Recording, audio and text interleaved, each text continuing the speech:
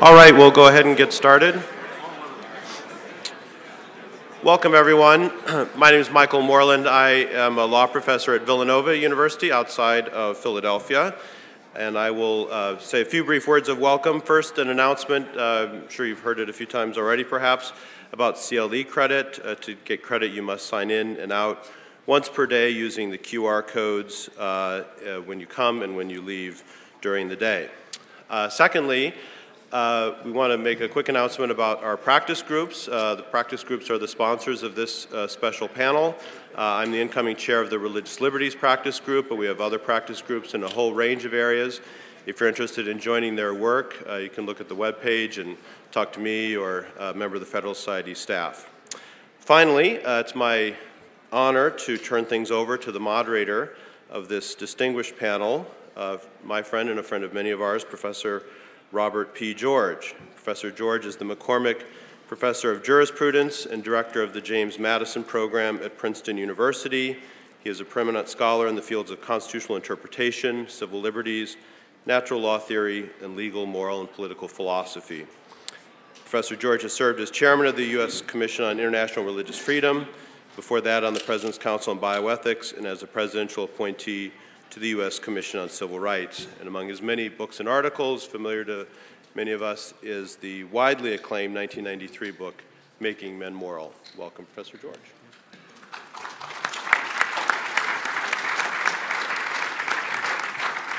Thank you, uh, Professor Moreland, and thank you very much to the Federalist Society for the invitation to moderate uh, this very distinguished uh, panel. Um, I'd like to say a special uh, word of uh, thanks today to anyone here who is a uh, veteran, uh, we owe the world uh, to you. Thank you for your service. Uh, I also want to say a special word of um, greeting to all my former students that I see uh, out there. It's really great to get to come to a Federalist Society meeting. It's like a family reunion for me. When he found himself in a jail in Birmingham, Alabama, Martin Luther King famously wrote a letter to eight fellow clergymen who had criticized his lawbreaking. It was, after all, lawbreaking that landed him in jail. The eight clergymen were not racists, they were not bad guys. In fact, they were anti racists in the old fashioned sense of that term. They were against racism.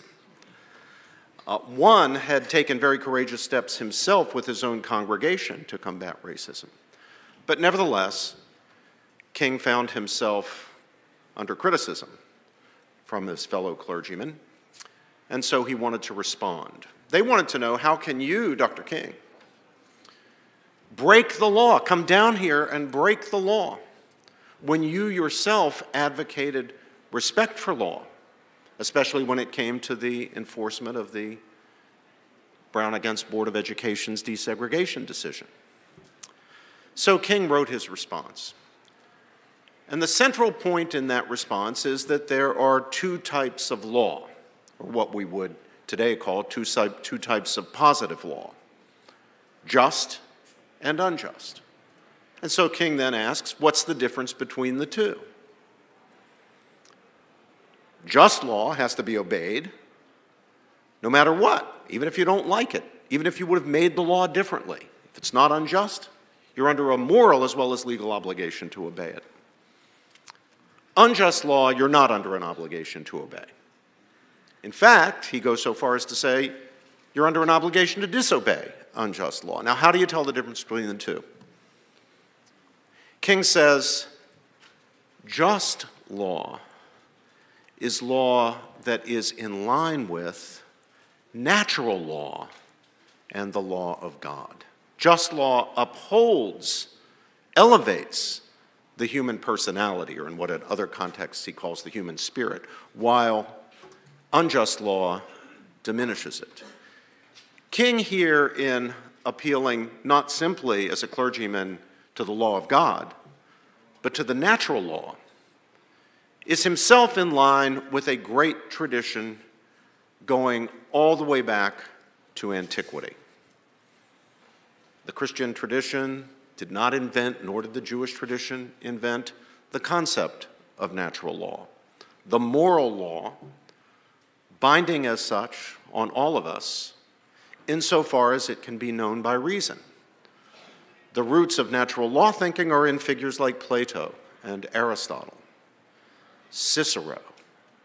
Now, of course, the medievals, especially the great medieval Christian theologian Thomas Aquinas, take the ball from the ancients and run with it, develop the theory of natural law, but Christianity did not invent it, nor is it, strictly speaking, a religious theory. It's a theory about what can be known by reason. And it's a theory that's directly applicable not only to our personal conduct, as King points out, but also to the conduct of institutions, including political institutions.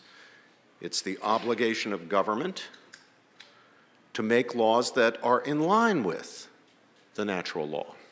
It's a violation of that obligation when government fails to make law or makes law that violates natural law. And it's not simply the ancients and the medievals. The American founders themselves and their great successor, Abraham Lincoln, were clearly people who believed in natural law and in rights that we have, human beings have, not as matters of mere convention, but as matters of natural law, natural rights. Anyone who knows anything about the American founding understands that the American founders sought to create a constitutional order and a body of law that was in line with, reflected the natural law. But we are here to debate a question that has been pressed by Professor Hadley Arkes throughout his distinguished career as a legal and political philosopher, and most recently in his book, Mere Natural Law, about the applicability of natural law to contemporary problems, especially as they present themselves in courtrooms, in litigation, and most especially in constitutional litigation. What follows from the fact, the agreed upon, or mainly agreed upon fact, that the American founders sought in the Constitution and laws to embody principles of natural law? What, does, what follows from that for the constitutional interpreter, and most especially for the judge doing constitutional interpretation or legal interpretation more broadly? That is the question. And to discuss it, we have an all star panel. I will introduce our speakers in reverse order.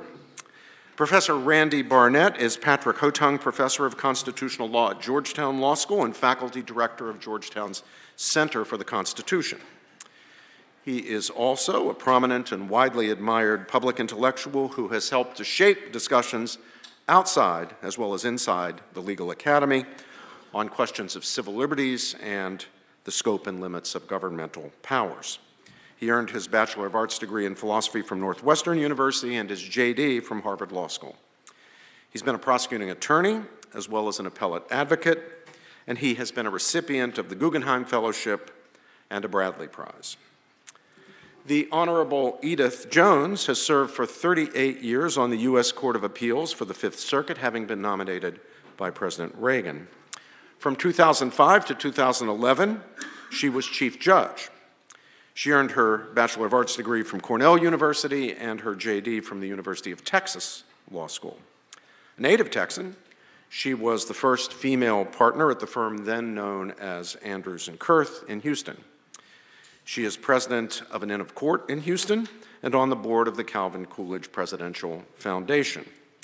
She has been married for 50 years to my friend Sherwood, Woody Jones, and is the mother of one surviving son and the self described proud grandmother of three beautiful granddaughters.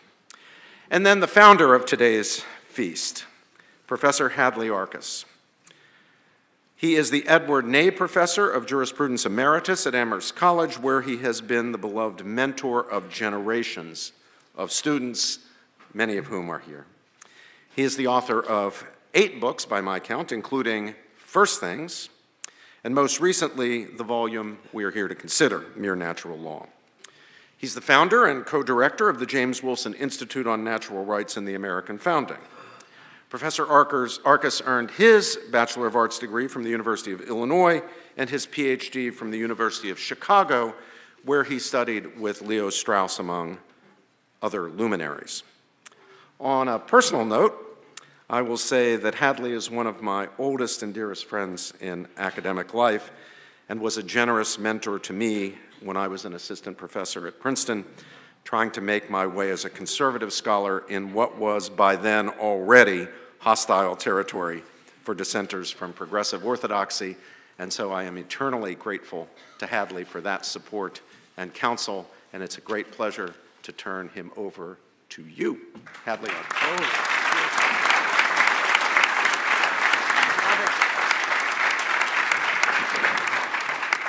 Thanks, Robbie. As the late Dean Martin used to say, what are all these people doing in my bedroom? Is this for natural law? Did they come out? Do we having a raffle or something here today? I want to thank Jerry Bradley for, for, for proposing this panel, for Gene Meyer and, and Dean Reuter who made it happen, and, and for Edith and Randy and Robbie who were so kind to agree to come here today to, to join me in this. Tom Stoppard did a play called Rosencrantz and Guildenstern is dead. And a friend said, What is this about? He says, It's about to make me a lot of money.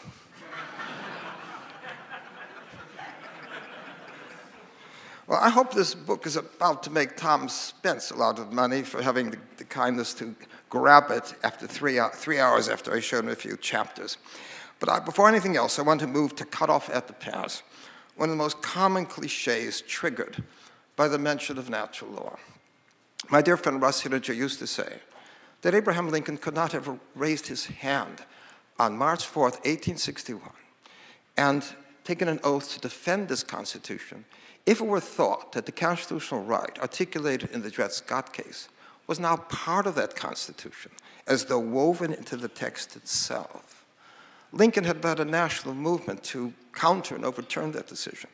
Now, since my book First Things, years ago, I've aligned myself with the Lincolnian position here. If the court declares Dred Scott to be a slave, we will not form a mob to free him. We respect the outcome of the case in regard to those two litigants. But if we're not persuaded about the rightness of the principle, the political branches are not obliged to act upon that principle for the measures that come under their hands. And the Lincoln administration moved right away to reach decisions that rejected the holding in the Dred Scott case. They reversed the decisions that blacks could not be citizens of the United States and therefore not carry passports to study abroad or not claim patents under the laws of the United States. And the Lincoln administration and Congress in June 1862 passed a law to bar slavery from the Western territories of the United States, anything in the Dred Scott decision notwithstanding. In the mid 80s, a question arose in the National Institute of Health whether it was necessary or whether obliged to use tissues in research drawn from elective abortions.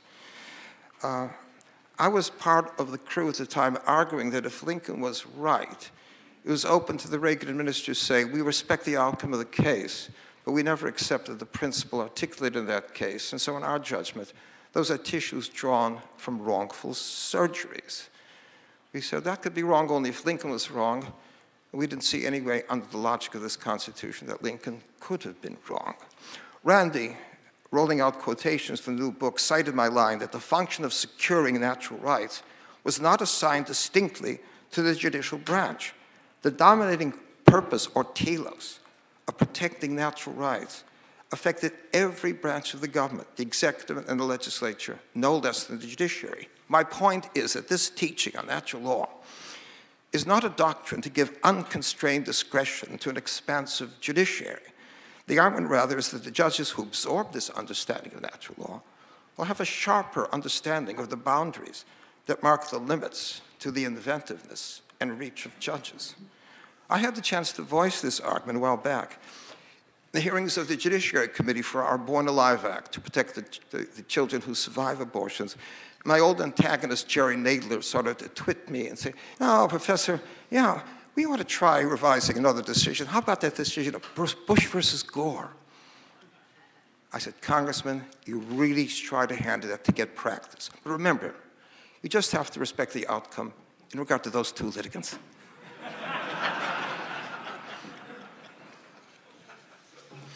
Now, I've been doing round the clock interviews on the book and podcasts.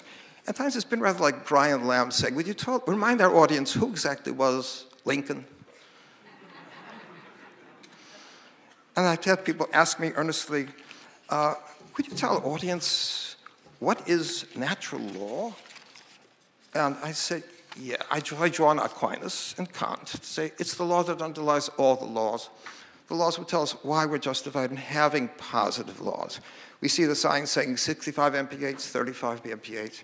But Kant would tell us behind those laws is an underlying natural law that would tell us why we be justified in restraining the freedom of people to speed, to speed that has, at drive, it has speeds that put innocent life at hazard.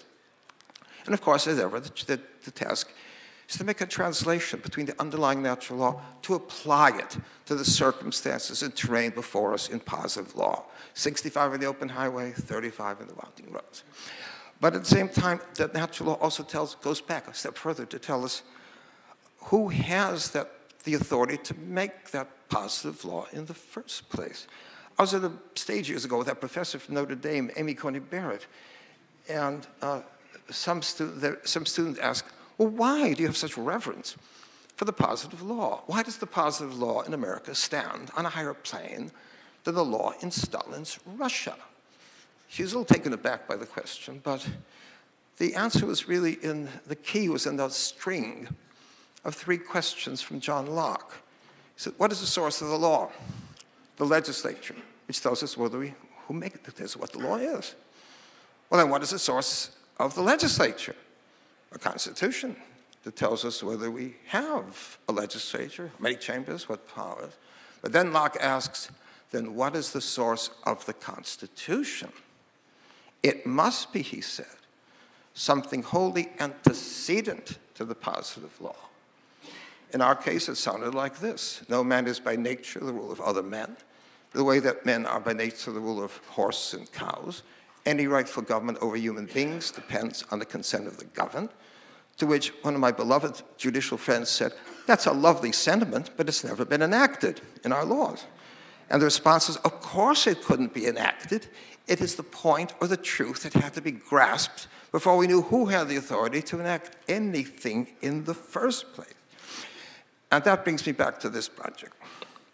We're drawn back to the principles that were there before the Constitution, the principles that the framers drew upon in devising the Constitution. As Lincoln and my friend George Sutherland reminded us, the Union is older than the Constitution. The Union was made for a more perfect, the Constitution made for a more perfect Union. And as the founders understood, those principles of the Constitution, the principles of the regime, were there before the Constitution, and they'll be there even if there were no Constitution. Just as John Quincy Adams said that, reminds us that the that right to petition the government was simply implicit in the idea of a free society. You'd be there even if it weren't in the First Amendment. You'd be there even if there were no First Amendment. You'd be there even if there were no Constitution. This is Greg Katsas. Greg Katsas, on the first day of oral arguments over the Obamacare case, cited John uh, Marshall in the old Dartmouth College case, saying, to impose upon people a contract they did not wish could be as bad as impairing the obligation of a contract they had willingly made and Justice Story would later say that would be true even if there were no Constitution. Okay? So the Constitution matters, of course, though. I do want to know whether a state can make its territory available as a naval and military base for another power. I do want to know that, that every two or four years there will be an election in this country in peace and war. They can't be called off. But I'm offering an originalism that encompasses the founders' understanding of the anchoring grounds on what they were doing. And if we respect the Constitution, I'm saying we should come to respect again the furnishings of mind of the men who made it. So I want to go back then to the principles that were before the Constitution. A president of Amherst College once said, Hadley has a theory of natural law. I said, when you say that, you rather suggest you're standing back in wholesome detachment, watching theories whiz past, and somehow you're able to form judgments. about the strands of those theories that are plausible or implausible, true or false. And I said, take me back to the ground on which you're making those judgments about the things you reliably know, and you back to the ground that some of us take to be the ground of the natural law. My dear late friend Dan Robinson, author of 18 books, spent his last years lecturing at Oxford, said he wanted, as a line on his tombstone, he died without a theory. without a theory. He was really calling upon Thomas Reid, the great 18th, 19th century philosopher, read closely by John Adams and James Wilson. Reid was teaching about those precepts of common sense that the ordinary man not only knows, but has to assume in getting on with the business of life. And so before the average man would start bantering with David Hume about the meaning of causation, he knew his own active powers to cause his own acts to happen.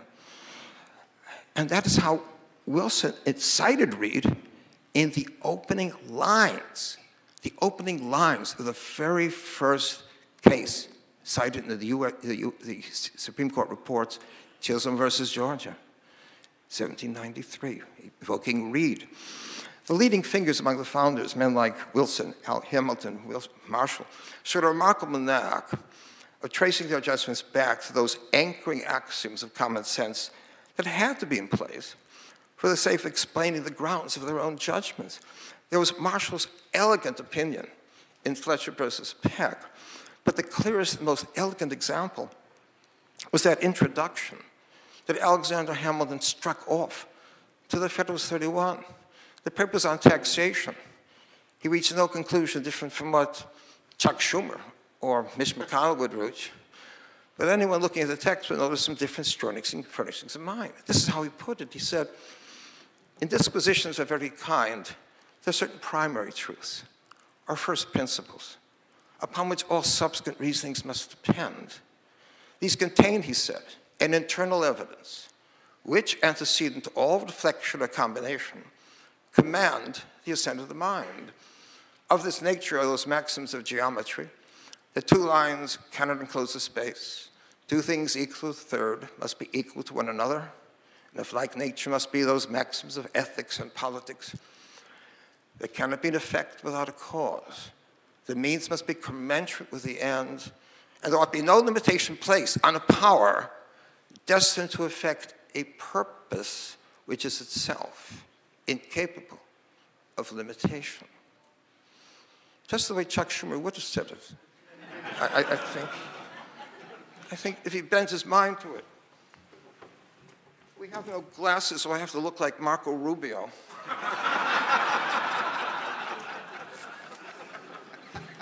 Get glasses next time. But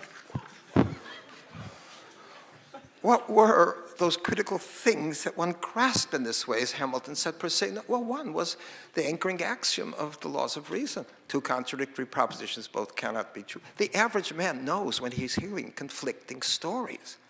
But the other one, running even deeper, is the proposition that Reid and Kant understood as the very first principle of all legal moral judgment, as Kant had it. It makes no sense cast moral judgments of praise or blame on people for acts they were powerless to do.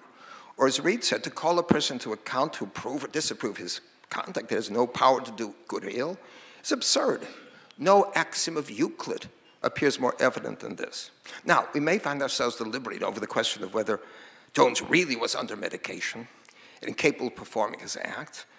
These are points that are quite contingent and handling variable. But the thing is, the thing to be noticed, the one thing in this mix that is never variable and never contingent is the principle itself.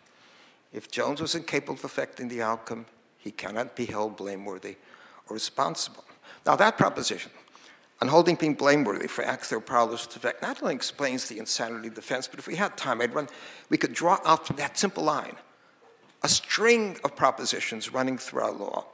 And I think it also works to, to explain the, the, principle of racial discrimination. As, as Robert Jackson fell into it, when, when people, fall, may, people may fall into the assumption that race exerts a kind of deterministic control over conduct. So we know someone's race, we know that We can reach moral judgments about the goodness or badness of these people we're, we're encountering as though they were governed by forces outside their control. If the court ever really arrived at an explanation what was in principle wrong with racial discrimination, we wouldn't be bewildered now wondering whether that principle in the racial preferences case goes beyond the colleges to apply to corporations, and whether in corporations it goes beyond employers to apply to, apply to officers. But let me see what I can draw out in one minute from that anchoring point. We don't hold people aiming for acts their powers to effect. We hold people responsible for their own acts, and not for what is known in the aggregate of that racial group of which they happen to be members. But as we judge, we insist that people should be punished, as John, John, as, as John Stuart Mill said, they should be punished only for wrongdoing. And if we respect the difference between innocence and guilt, that obliges us to use the most demanding methods in assessing guilt rather than having people run over hot coals or, or be pummeled to, to, to shake their, uh, their memory.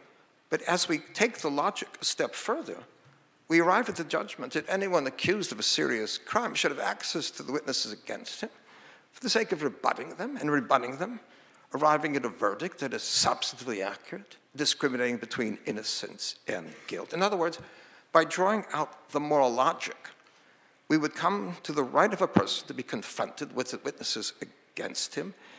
And my point is, it would be there even if were not contained in the Sixth Amendment we remember that the framers did not think of putting it in the original text in the first place, just so they didn't think of putting in presumed innocent till proven guilty. And as we know, James Wilson think they didn't, they didn't, Wilson think we should put in ex post facto laws. We all know that. It's quite, it's, it's in part of the logic of law.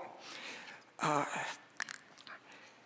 as we draw out these principles, and we, we see how they bear in a very precise and concrete way on things like the regulation of speech, the dimensions of religious freedom, and such matters of withholding care from a newborn born with spina bifida and Down syndrome. I was there in the court the, the day that Chuck, argued, Chuck, Chuck, Cooper argued that case.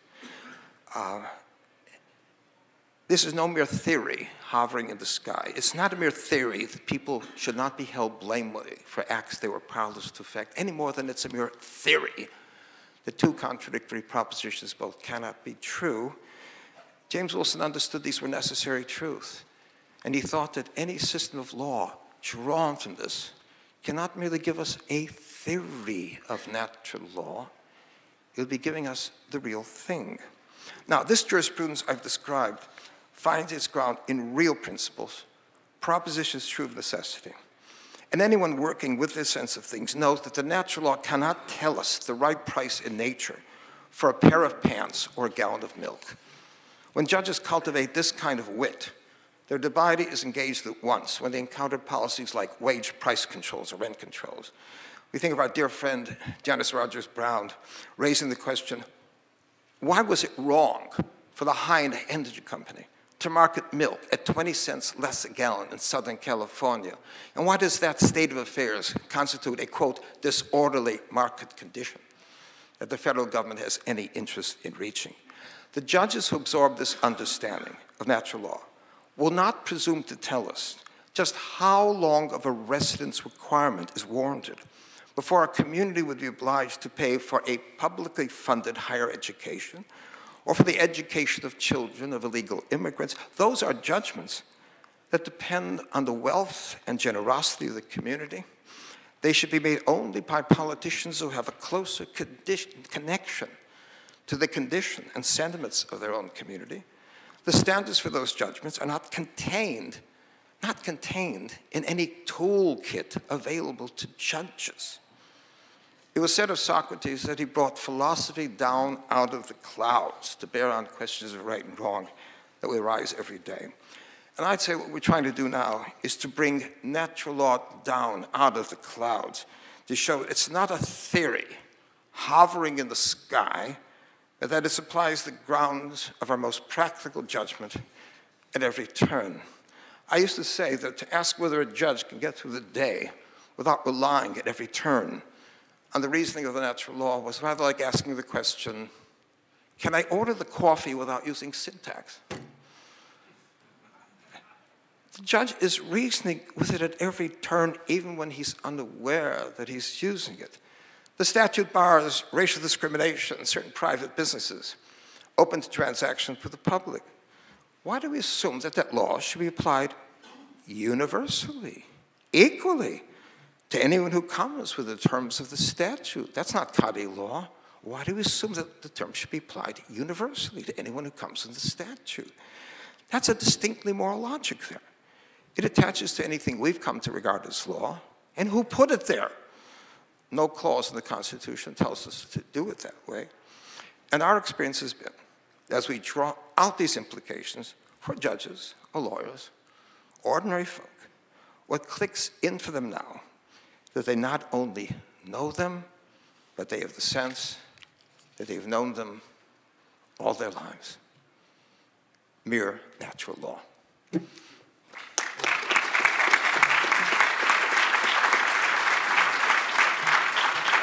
you, Professor Arkes. Judge Jones.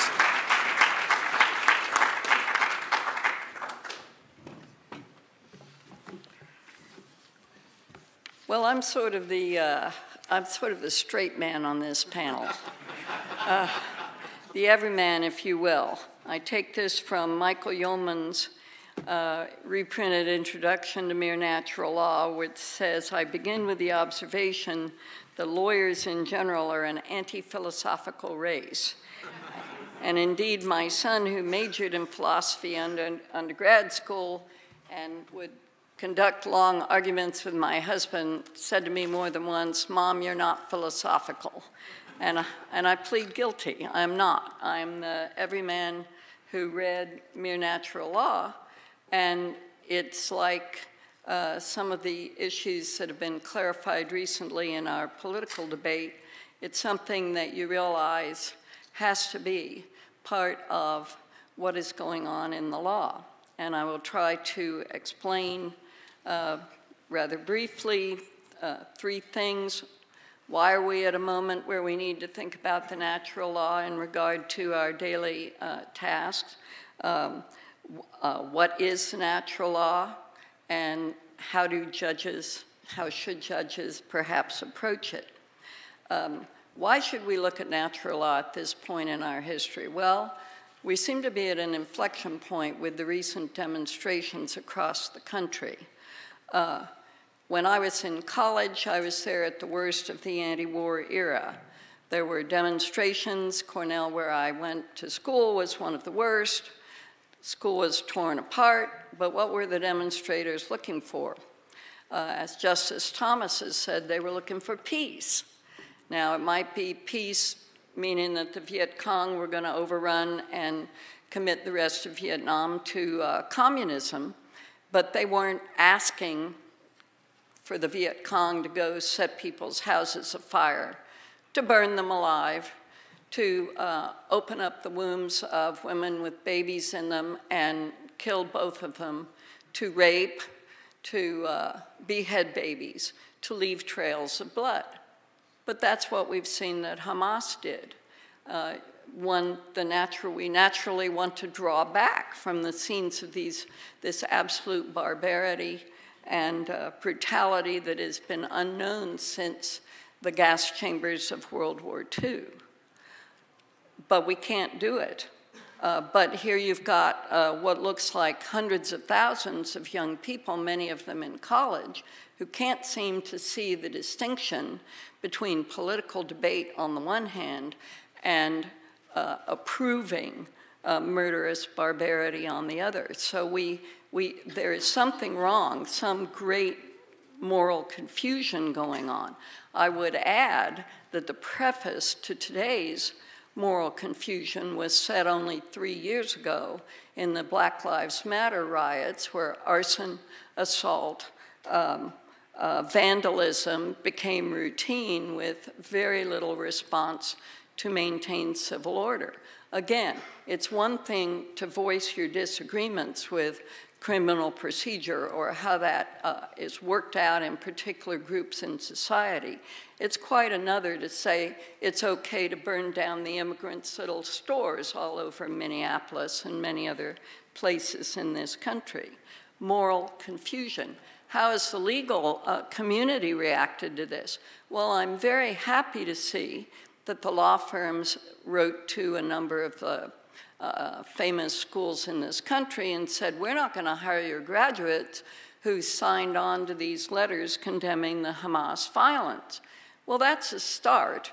Uh, as Hadley said earlier today, that really doesn't catch the nub of the problem, which is that what they are advocating is terrible violence, and it's up to the schools who are training these people to give them a moral grounding.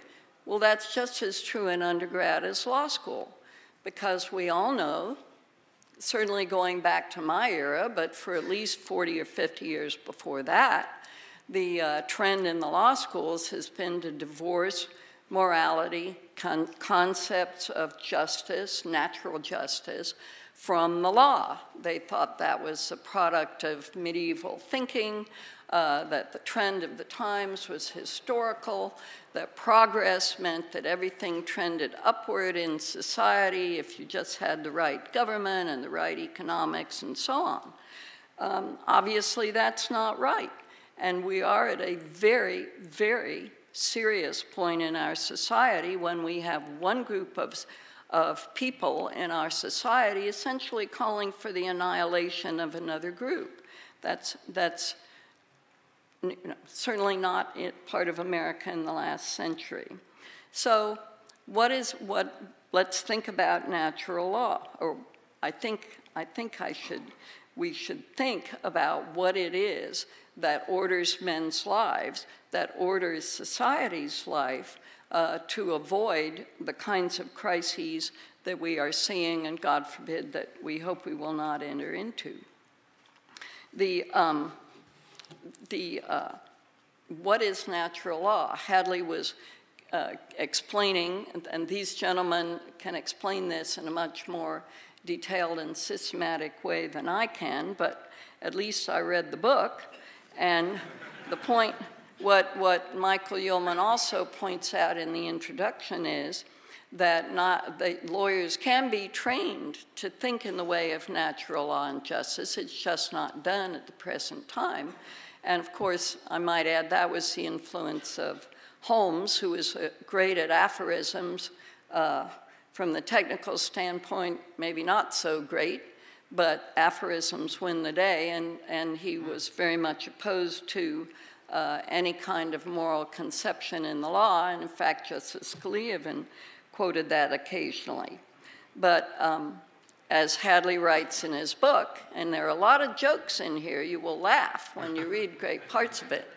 He says the seven year old who gets beat up by bigger boys comes home and says, That was wrong.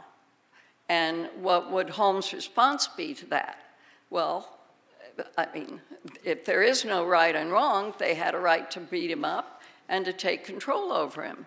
Well, what does the Declaration of Independence say?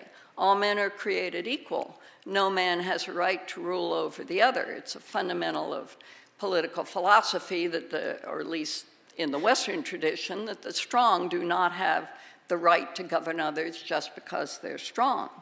That's a principle of natural law. Holmes was wrong. Seven year old boy happens to know that.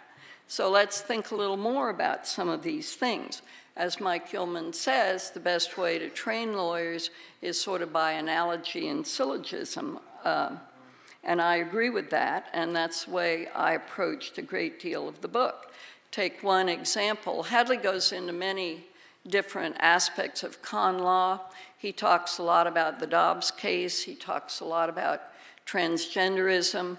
Those are things that are likely to come before our court, so I can't discuss those. But let's talk about speech. Uh, we've, we have uh, a series of Supreme Court decisions in free speech. Uh, he, he cites the Terminiello case from the late 40s or early 50s uh, that have traced an interesting devolution from what the founders would have recognized as speech. Uh, you went from Terminiello, where this uh, inflammatory speaker in Chicago uh, had a riot going on outside because he was so inflammatory. And then he started re throwing rhetorical bricks or, or, flames on the, uh, what do you call it, cinders on the fire himself, and the police finally arrested and charged him. And uh, his conviction was overturned by the Supreme Court in one of the early uh, uh, decisions that said, you know, we can't, we can't uh, vouch for the goodness of the speech or the badness of the speech. They overturned it on jury instructions, and Justice Jackson, recently returned from Nuremberg, was shocked. He was one of the, the only dissenter. He said this, the Constitution is not a suicide pact.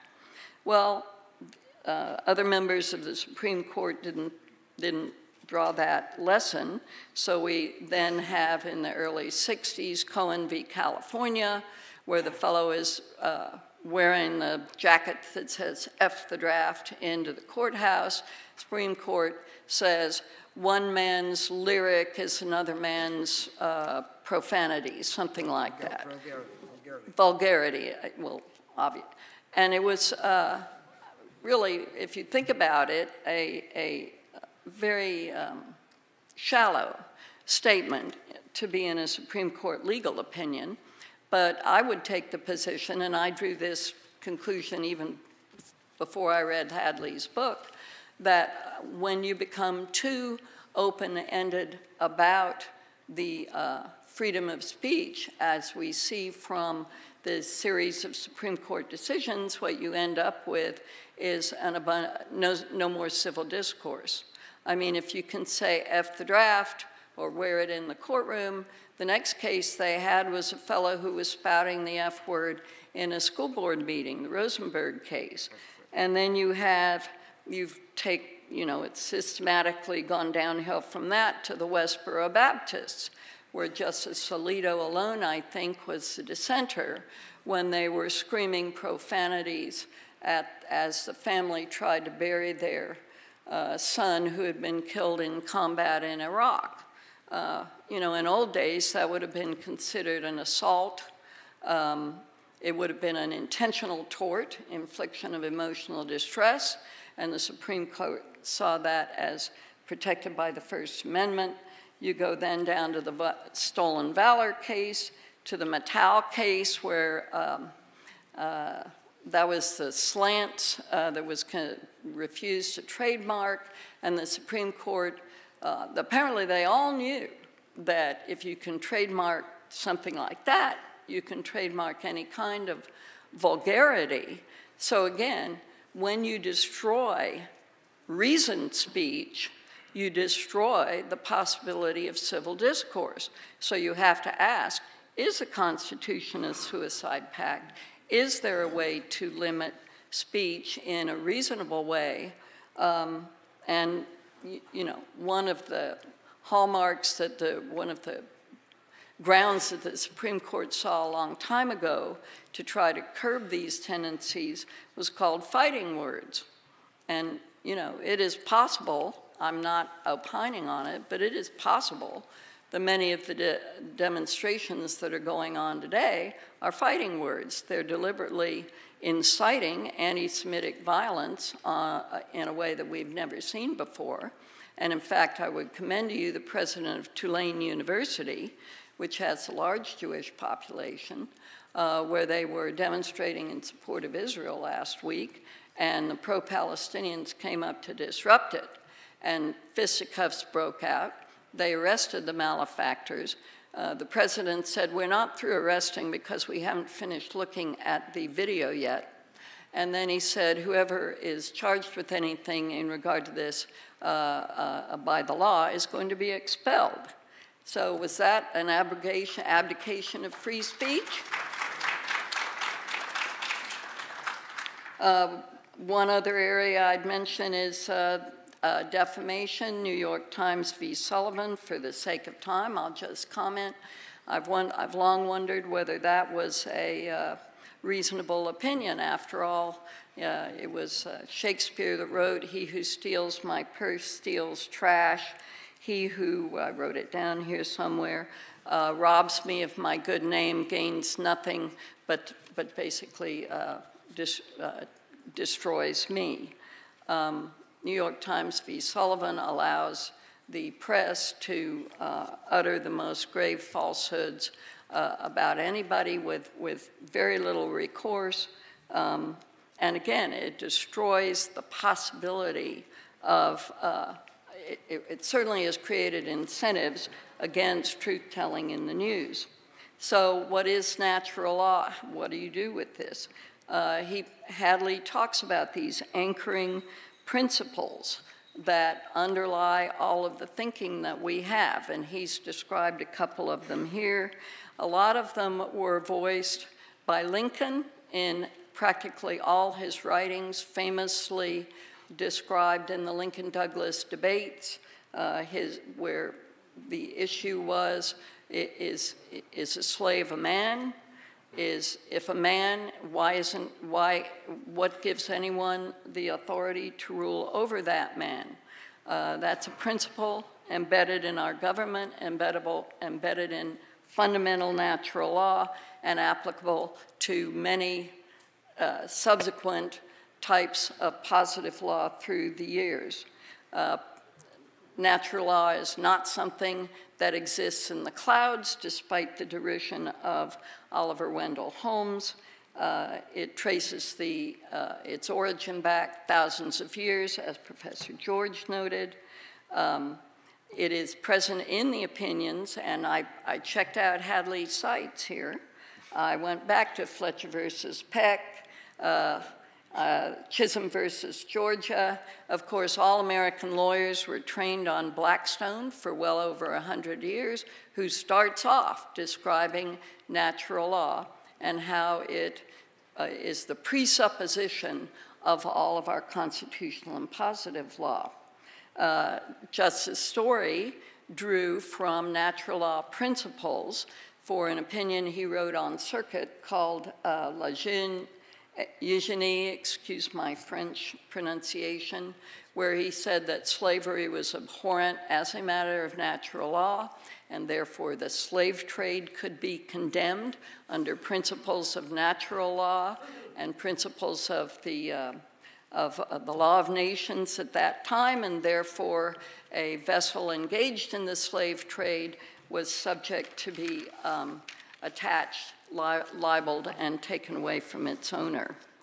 Um, when Hadley is, some of the precise principles that he refers to, principle of contradiction, which uh, I mentioned already, the idea that no person is responsible for uh, things that he cannot control, that is the root principle of no discrimination on the basis of skin color, uh, Aristotle's was do good and avoid evil. Uh, in many uh, notions of positive lawmaking and judicial lawmaking, we have to make prudential judgments about uh, doing good and not doing evil, but the, that's, the, that's the fundament from which we operate. Um, I will add one about property that um, agreements voluntarily entered into must be fulfilled. That's the root of our contract law. Um, so this, uh, there have been criticisms of Hadley's book. Let me make a few responses to those by very, again, uh, scholars much more learned than I am, but I think they were uh, misapprehending what he is saying. Some couple of scholars have said that he's trying to take us back to the idea of uh, judge-made law. That is not so. He, is, he calls himself an original originalist because he's trying to recover the sense that was Im immanent in what the fun, uh, founders were doing, that um, there are these principles that exist beyond the Constitution. Does that mean that we decide cases beyond the Constitution? Not necessarily, in fact, almost never, because the Constitution itself, as Scalia and others well know, creates a structure of government that itself is based to reflect the moral and uh, natural law. But there are, there are questions posed under the Constitution like free speech, like the scope of religious liberty, like the fundamental issues about a child in the womb and what are male and female, that the Constitution doesn't answer, but right reason uh, for many of us forms the right answer. Um, he calls, he, he criticizes opinions that have been issued by a number of members of the Supreme Court who are conservative originalists. Does that make him not an originalist? No, it does not. Conservatives love to disagree with each other, don't we? Uh, uh, there are many ways to have disagreements and to think about things in a different way. Uh, one can realize, again, going back to the speech cases I talked about, uh, you, you, know, do you really do you really mean to say that the law in Chicago that that was curtailing loitering in order to stop drug dealers from monopolizing all the streets in South Chicago was unconstitutionally vague? That's what the court held in 1999 in Morales v. Chicago. I will say both Justices Scalia and Thomas dissented in that. But what happened? Well, the drug dealers took over. There was poignant testimony from the local people that they were scared to walk outside for fear of the crossfire. Well, guess what? Chicago hasn't gotten any better for lack of enforcing that. And in fact, the Ninth Circuit, um, having condoned camping in public spaces, we see what's happened to public order and civility in the cities in which that are beleaguered by uh, those kinds of holdings. Are those holdings outside the Constitution, outside the realm of rights? I'll leave it to the Supreme Court to determine, but uh, the, the seven-year-old boy probably has an answer to that. Uh, finally, I would, um, one, of the, one of the other arguments, does this open the door to substantive due process? No. Uh, it does not because these principles have been known for a long time, they just haven't been taught. And it used to be that judges, the lawyers, started out their education with several lectures and training in the natural law, much of which is uh, syllogistic uh, reasoning from first principles, as Uhlmann said, natural to lawyers. Okay, finally, what can judges, what are judges supposed to do about this? Um, you know, I've just voiced a couple of the areas where I'm particularly sensitive to the need to take an, another look and articulate the underpinnings of our decisions in such a way that they are not morally relativistic.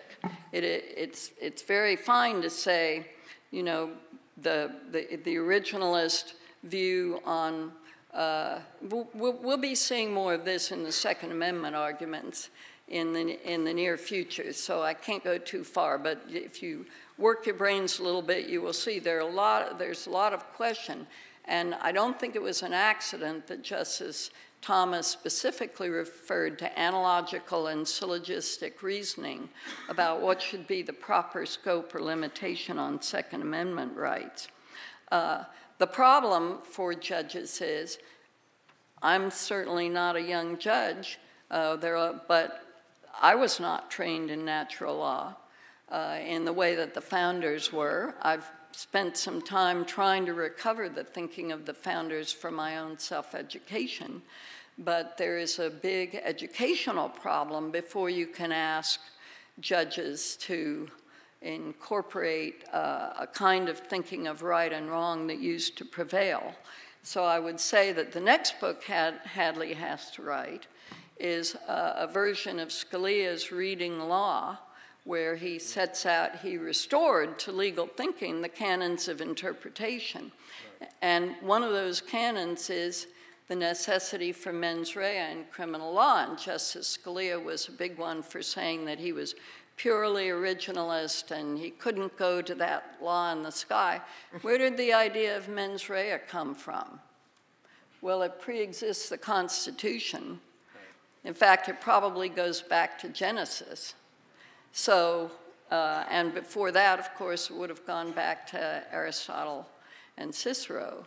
So even those kinds of principles go back to a, a way of thinking and a need for stability and moral judgments that we ought to seriously incorporate into the law nowadays. Thank you. Thank you, Judge Jones. Professor Barnett.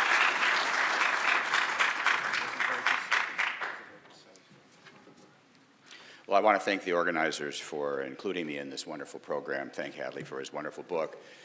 I'm very impressed by the turnout at this program. I thought that when I agreed to be on a natural law program, we are going to be like 20 people in a room, but uh, this is very nice. So let me, let me start my talk with a hypothetical, or what I wish was a hypothetical.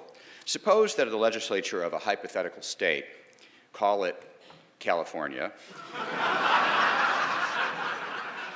enacted a statute removing your children from your custody whenever an official of the state determined that it would be in the best interests of your children. I'll let you fill in the blanks why the state of California might think that it could raise your kids better than you. Do you have a right to raise your own children? Or more relevantly, under the US Constitution, do you have a constitutional right to raise your own children? After all, while the Constitution protects the rights of speech, press, and assembly, and as well as the right to keep and bear arms, says nothing about a right to raise your own children. So, can you assert such a right in court? As it happens, there's a Supreme Court precedent on this question.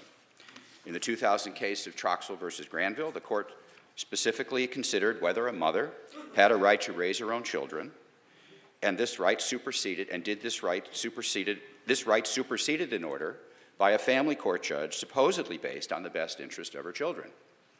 By a vote of six to three, the court upheld the fundamental right of the mother and vacated the family court judge's order. Speaking for the majority, Justice O'Connor wrote, quote, the liberty interest at issue in this case, the interest of parents in the care, custody, and control of their children, is perhaps the oldest of the fundamental liberty interests recognized by this court. And the earliest of the precedents that she cited were Meyer v. Nebraska and Pierce v. Society of Sisters.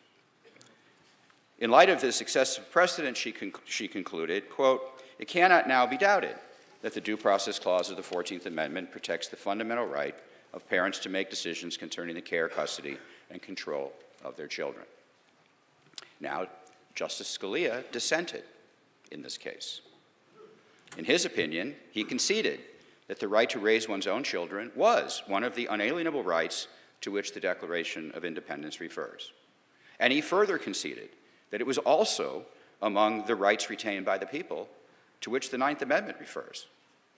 But he asserted, nonetheless, that, quote, the Declaration of Independence is not a legal prescription conferring powers upon the courts, and the Constitution's refusal to deny or disparage other rights is far removed from affirming any one of them and even further removed from authorizing judges to identify what they might be and to enforce the judges' list against laws duly enacted by the people. For this reason, he concluded, quote, I do not believe that the power which the Constitution confers upon me as a judge entitles me to deny legal effect to laws that, in my view, infringe upon what is, in my view, that unenumerated right. The right to raise your own children, I want to remind you. Now, Justice Scalia also disparaged the precedents of Meyer v. Meyer v. Nebraska and Pierce versus Society of Sisters, which he said were the first to protect what he called the substantive constitutional right of parents to direct the upbringing of their children. In both, case, both cases, he said, came from a quote, an era rich in substantive due process holdings that have since been repudiated. By this, he meant, of course, that they were decided on the same theory as Lochner v. New York. This ambivalence and even hostility towards the constitutional right of parents to raise their own children reveals what might be called the positivist pathology that has always pervaded the conservative legal movement. By this I mean the insistence that only rights specifically stated in the positive law text of the Constitution can provide the basis of a constitutional challenge to a law. And also that the textual references to unenumerated natural rights in the Ninth Amendment and in the Fourteenth Amendment are and ought to be non operative dead letters. Nor is this problem confined to hypotheticals. During COVID, the positivist pathology rendered the federal courts completely unavailing to the millions of Americans who were largely confined to their homes, unable to visit their dying loved ones, or even to attend their funerals. Private schools were forbidden from holding classes for young kids who were overwhelmingly unaffected by COVID, lest their example shame the teachers' unions whose members preferred to teach from home. Unless you could claim an enumerated right, like the right to freely exercise religion, conservative judges and justices were AWOL. State and federal governments were not held to any burden to present evidence that these restrictions on liberty, these radical, unprecedented restrictions on liberty, were truly necessary and proper. This positivist pathology is based on a not unrealistic fear of unelected, unaccountable judges making up a panoply of fake rights that legislatures cannot override, thereby denying what conservatives call the right of the people to govern themselves. This is an understandable concern but it arises from the modern conception of constitutional rights that's based on a fundamental misreading of our constitutional history. Under the modern conception, a constitutional right is one that trumps or provides definitive and irrefutable objections to legislation. For this reason, preserving democratic self governance requires that constitutional rights must be strictly limited so it is convenient to limit constitutional rights to the positive law rights that are specifically enumerated in the text of the Constitution. But even conservative justices have not gone this far. In McDonald versus City of Chicago, a conservative majority upheld the existence of a constitutional right to keep and bear arms against state governments. Writing for a four justice plurality, Justice Alito declined to find that this right was protected by the original meaning of the Privileges or Immunities Clause Instead, he employed the conservative justices' substantive due process implementing doctrine that they had, had articulated in Washington v. Glucksberg, and that is to be a fundamental constitutional right, a right must be deeply rooted in the nation's tradition and history. And Justice Alito concluded that the right to keep and bear arms was so rooted. Now, the good news is that this conservative substantive due process implementing doctrine could pretty easily justify a right of parents to raise their own kids. They could find such a right to be both deeply rooted in the nation's tradition and history and implicit in the concept of ordered liberty. The bad news is that this conservative implementing doctrine rests solely on stare decisis rather than on the original meaning of either the due process of law of the due process of law in the 5th and 14th amendments or say the privileges or immunities clause in the 14th amendment. There is another way. The solution lies not in abandoning or ignoring the original meaning of the text of the Constitution, but in understanding the natural rights underpinnings of that text. This natural rights underpinnings is acknowledged by the original meaning of the Ninth Amendment and the Privileges or Immunities Clause of the 14th, as well as the due process clauses of both the Fifth and 14th Amendments. As Evan Bernick and I explain in our book, The Original Meaning of the 14th Amendment, its letter and spirit. The original meaning of due process of law is about ensuring a judicial process before any ind individual person may be denied their natural rights to life, liberty, or property. This judicial process is required to ensure, first, that a person is actually guilty of violating a validly enacted statute, and second, that the statute or legislative act was within the jurisdiction or just powers of a legislature to enact. In other words, due process of law entitles any accused person to a judicial determination that a legislative act was truly a valid law. Now, when it comes to the legislative powers of Congress, most conservatives are quite comfortable with the idea that before a person can be deprived of his life, liberty, or property, due process of law entitles that person to a judicial assessment of whether that statute being, the statute being enforced was a necessary and proper exercise of one of Congress's enumerated powers. In this way, in NFIB versus Sebelius, our challenge to Obamacare was both a Commerce Clause challenge and a Fifth Amendment due process of law challenge to a validly enacted statute. The same goes for the states. Under the 14th Amendment's Due Process Clause, a state legislative act must be within a proper conception of the police power of states. But here, as our COVID experience revealed, conservative judges, along with their progressive colleagues, are wary of enforcing any limits on that power. Part of this hesitance arises from the assumption that if a natural right retained by the people is found to be fundamental, it requires that any law regulating such a right be strictly scrutinized. But this is not how natural rights were thought to operate before the New Deal and the rise of the preferred freedoms approach of footnote 4 of U.S. v. Carolene Products. Indeed, it's inconsistent with how the court in Carolene Products described due process of law. In the body of his opinion, not the footnote, but the body of his opinion, Justice Stone affirmed that, quote, a statute would deny due process which precluded the disproof in judicial proceedings of all facts which would show or tend to show that a statute depriving the suitor of his life, liberty, or property had a rational basis. Here, the New Deal is reaffirming the traditional rationality and arbitrariness review required by due process of law. What due process of law requires is a realistic or meaningful inquiry into the rational basis of a legislative restriction on liberty, not the unreasonable, unrealistic, conceivable basis sham review adopted by the Warren Court in Williamson v. Lee Optical. I like saying it was a Warren Court opinion. It was a Warren Court opinion. Unless the Constitution provides a rule like prohibition, the due process of law requires an evidence based showing that a law restricting our natural rights of life, liberty, or property is not irrational or arbitrary. To protect the natural rights of the people, the conservative legal movement simply has to get past its demonization of Lochner v. New York. Lochner did not find that the liberty of contract was a fundamental right that was protected by strict scrutiny. It was not about requiring any restriction on economic liberty to be narrowly tailored to achieve a compelling state interest. Rather, the majority focused on just one provision of a comprehensive regulation of New York bake shops, the Bake Shop Act, and that was the maximum hours law provision. The majority found the connection between this prohibition and any conceivable health and safety end to be so poorly supported by evidence as to raise the suspicion that the law was a pretext for what the court called other motives. Now, perhaps the five justice majority was wrong in its fact based assessment, and Justice Harlan was right in his fact based dissent.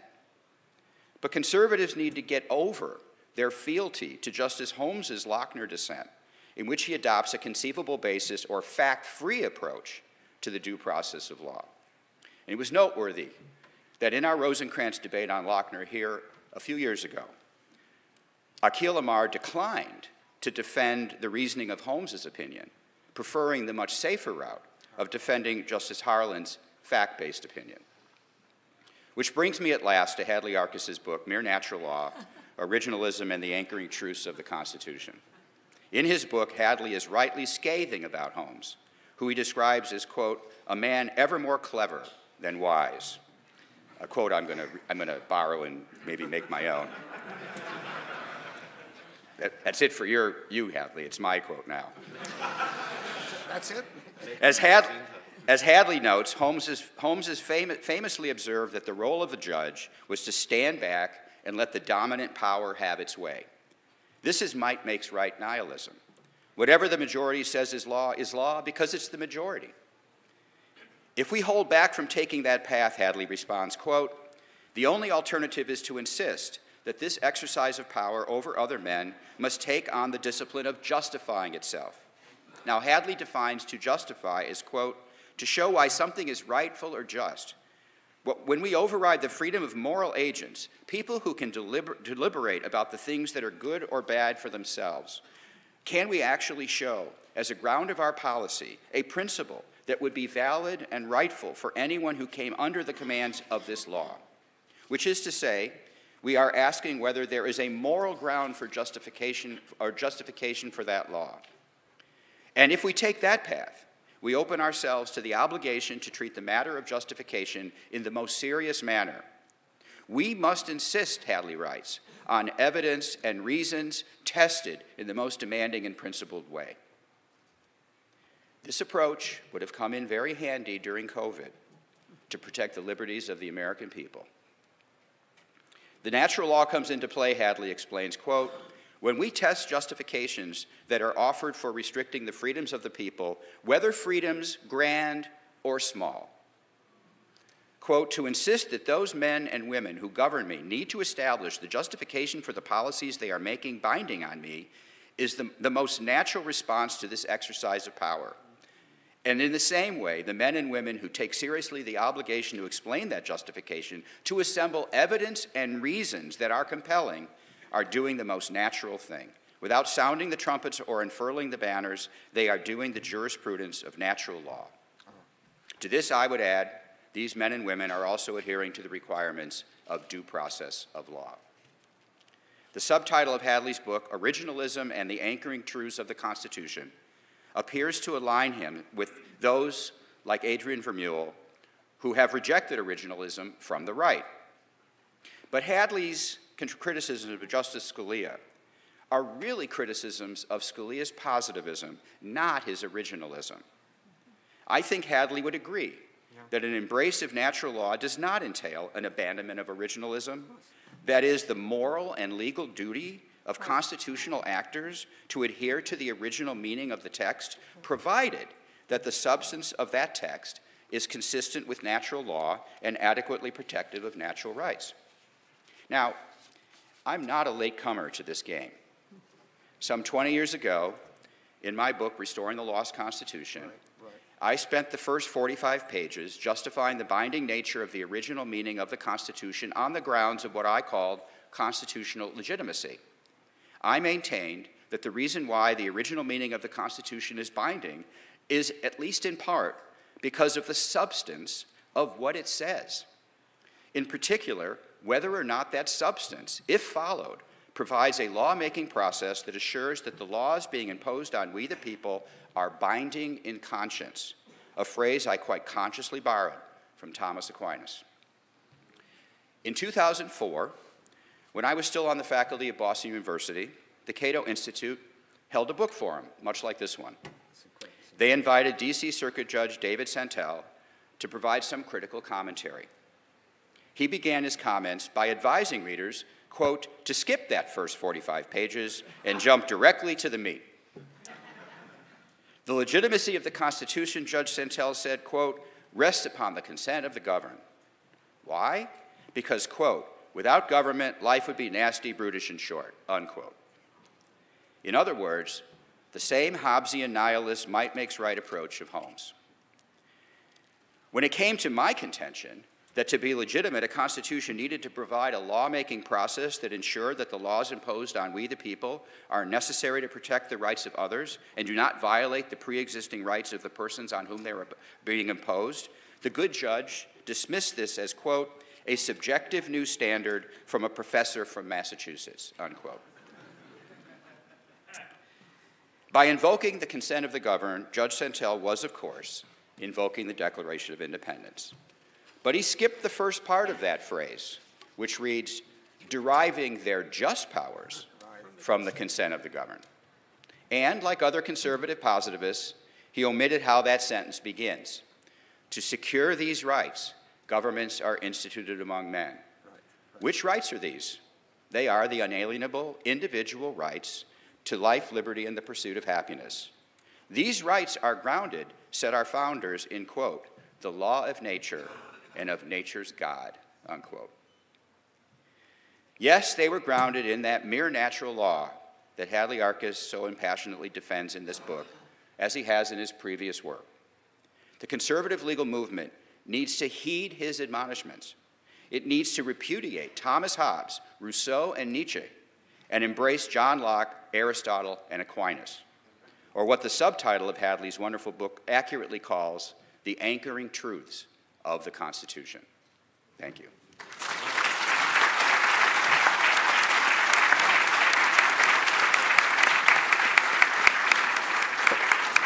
Thank you, Professor Barnett. Uh, I, am afraid that the wonderful presentations have more or less exhausted uh, our time. I had hoped uh, for some questions, and Hadley had asked me to offer a few reflections uh, of my own. Uh, do we have time for, I'll skip my own reflections, but can the organizers tell me whether I can have a couple of minutes for a couple of questions? Yeah, okay.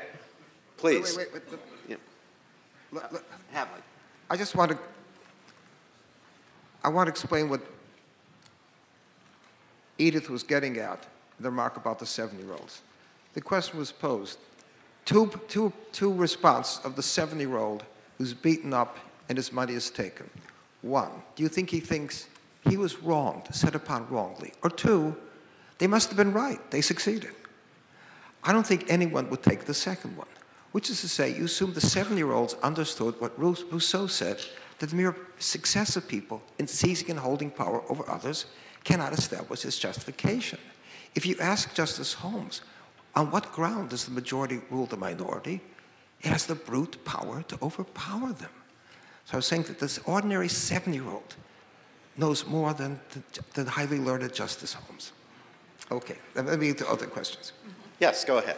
Right, Brian Bishop uh, from Rhode Island. I, I want to align myself quickly with uh, Randy's uh, embrace of uh, uh, bringing Lochner uh, back to uh, uh, to a better uh, a better viewed decision. Uh, but the difficult, I thought when you said the bad news, I thought you were going to point out that in this same tradition, or looking at history and tradition, that we might also say there was a tradition of privacy, you know, in certain relationships. That that this can be kind of played from both sides of the uh, uh, of the divide on on issues. And I, to me, that that is something that uh, in bringing Lochner back really questions. Uh, the part of Roe, of course, that I thought was the more dependent on substan- substantive due process. Okay, uh, Professor Barnett? I will take that as a comment rather than a question. Thanks, Okay, Brian. yeah. Uh, let's do one more. Bobby, give me a couple. give me- Nathaniel Lawson of the Cato Institute. Randy, um, I definitely know from what, what I've done that uh, rights were that at the time of the founding, rights were less absolute than they are today. On the other hand, how does that fit with the, these rights being inalienable and like the fund and fundamental things of free speech that and or in other rights? Let me hand that one to I- I- Professor I, I Arkes. didn't quite get the question. Oh, you didn't quite, okay, Randy, you want to Well, take it? that's, I mean, it's a great question. Um, uh, rights uh, were absolute in the sense that they, inalienable rights can't be taken away from you, but the, the way they function in a constitutional order is simply to put the burden of justification on those who would reasonably regulate it. So the possession of a right bars, uh, you can prohibit any violations of a right, but you can also regulate the exercise of the right so as to protect the rights of others. So regulation is permissible uh, in a constitutional order, even though these rights remain the possession of the right holder, they can be exercised, they can be regulated the way contract law regulates the making of contracts. But then the burden is simply on the government when they are restricting your rights to justify that as necessary and proper. Which, if, if they were actually operating on the empirical facts available to them, they should have no problem showing. Except they don't, if they don't have to show it, they don't usually do the investigation. Uh, that prompts me to uh, uh, actually do a commercial, uh, which is that for people who are interested in pursuing those sorts of questions uh, more deeply, on November 30th and December 1st here in Washington at the American Enterprise Institute, there's going to be a conference marking the 30th anniversary of the publication of my book, Making Men Moral, which addresses uh, many of these basic natural law uh, questions. And I believe that the conference is uh, open to the public. If it's not, I'm making a big mistake in publicizing it. But we will be exploring uh, very deeply many of these same questions. Hadley, you wanted 30 Yeah, seconds just, at the end. just, Just a quick, a quick, some closing words. Uh, I want to pick up one of the things of Randy's. I think people seem to assume that decision in Buck versus Bell was one of our worst decisions. And we said, well, what would we use to strike it down? Walter, uh, uh, Bill Pryor used to cite Walter Berns. Walter Berns had a classic case on this, and he, he came to the view, well, he, he cited Corwin saying, we're able to protect this kind of a, we looked at the, at the background. We have no long anchoring right not to be subjected to eugenic testing or sterilization. It's the due process clause. He finds Corwin saying, yeah, we're, we're able to protect these kinds better when we had cases like Lochner, right?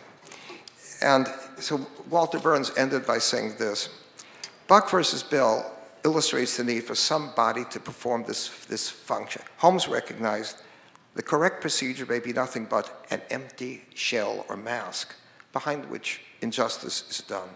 In the end, procedural due process is a substantive right which is denied everyone to whom injustice is done. It seems reasonable to conclude that the extent to which the court probes the record of the case would depend on the substance of the law. Permit me a closing word. I've lost, a personal word, I've lost a number of people close to me uh, over the last, last year or so. I began to wonder whether I might see, be here for the release of the book. And I, it recalls Tom Stoppard's line in The Invention of Love, when he recalls, he, he, he has the 19-year-old A.E. Housman at Oxford doing a riff for his sister on God's words to Moses as he's showing him the promised land he will not enter. And he has God say, I'm giving you all of Gilead and Edom. I'm giving you all of the land of Naphtali and Judah and Amasa to the utmost sea, but not including Wales, which I'm saving for the Methodists. So I'm saying, I'm happy to be alive today, and I'm happy to see so many of the best jurists in the country, Dermot and Jen and so others, whom I'm blessed to have as friends. Thank you all for coming. Thank you all, and we are adjourned. Nicely done.